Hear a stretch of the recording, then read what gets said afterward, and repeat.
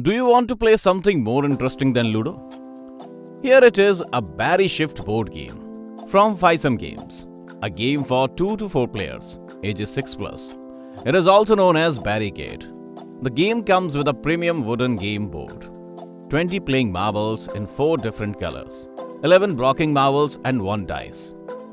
The game board is laid out in the middle of the table. Each player gets 5 marbles of the same color and places them on the starting spaces at the bottom of the board. The youngest player starts, then play continues in clockwise direction.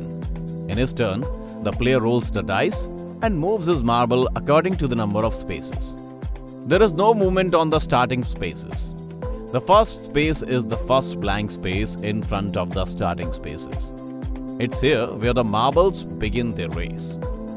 Marbles may move in any direction forward, backward, and sideways.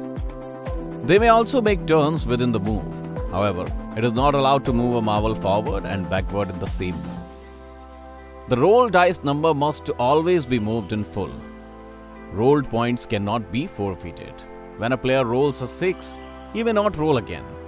It is permitted to jump over own and opponent marbles. The jumped spaces are included in the count. It may happen that no marble can be moved at all. In this case, the player skips a turn. In any case, the player may decide for himself which of his marbles he wishes to enter into the game.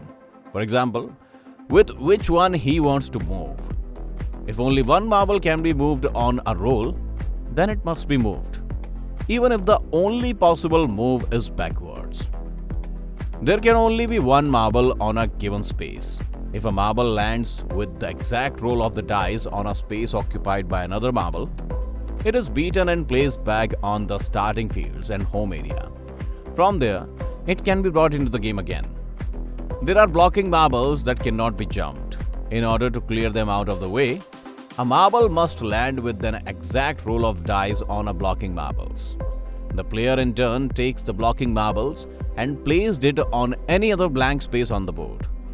With the exception of the first row of spaces, repositioned blocking marbles can be placed on marked holes or any other empty holes as well. The game ends as soon as one player has entered one of his marbles with an exact roll of dice into finish hole, is the winner of the game. If you love playing Ludo, then you will definitely super enjoy this game as well. For where to buy and current prices, find the link below in description and visit physome.com. Android and iOS app is also available. Download now. Click below. Subscribe to our channel for most interesting game videos.